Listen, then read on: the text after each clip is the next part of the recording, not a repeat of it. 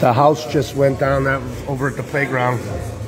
Now, it's just insane how high it is. It's finally starting to slow up the rain, but thank God. Thank God we moved my car because my car was, I, I moved my car up there. That's, that's a little roadway right there.